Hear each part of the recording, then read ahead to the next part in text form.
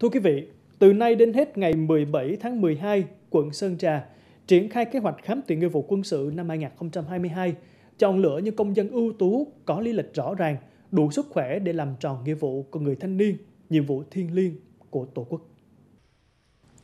Tại trường tiểu học Hai Bà Trưng, phường Nại Hiên Đông, quận Sơn Trà,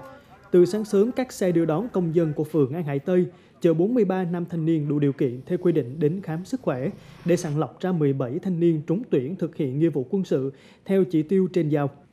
Trước tình hình phức tạp của dịch COVID-19, năm nay, ngoài việc đặt lịch khám trước cho từng đơn vị địa phương, Ban Chỉ huy quân sự quận Sơn Trà còn chuẩn bị thủ tục khai báo y tế, quét mã định danh và xét nghiệm nhanh COVID-19 cho thanh niên tại cơ quan đơn vị địa phương đến khám. Quá trình làm thủ tục chờ khám tuyển, cán bộ tuyển quân và thanh niên phải tuân thủ nghiêm ngặt quy định 5K.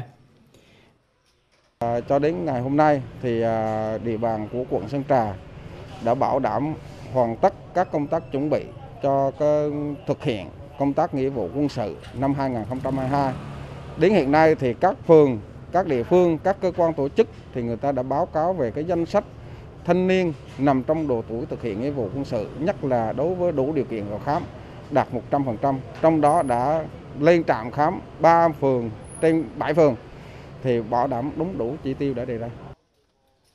Năm nay, quận Sơn Trà điều động 845 công dân trong độ tuổi đến khám tuyển, sàng lọc, lựa chọn ra 184 thanh niên đủ điều kiện về sức khỏe để phát lệnh gọi nhập ngũ. Trong đó, chỉ tiêu thành phố dự kiến giao 145 thanh niên khám tuyển nghĩa vụ quân sự, còn lại là khám tuyển nghĩa vụ công an nhân dân.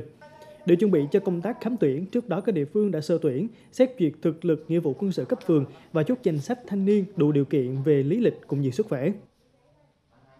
Chúng tôi đã ờ, triển khai đến toàn bộ các khu quân chính đảng, rà soát thực lực à, và vừa rồi thì đã tiến hành khám tuyển nghĩa vụ quân sự. Thì qua vận động thì ờ,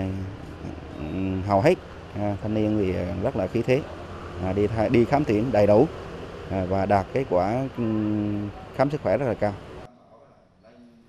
Trên cơ sở chi tiêu tuyển quân thành phố Giao, hiện có 7 phường của quận Sơn Trà đã lên kế hoạch phân công các ban, ngành đoàn thể theo dõi, động viên và hỗ trợ kịp thời các thanh niên trúng tuyển đợt này, đảm bảo hoàn thành 100% chỉ tiêu tuyển quân có chất lượng, góp phần thực hiện tốt nhiệm vụ quốc phòng quân sự địa phương trên địa bàn quận.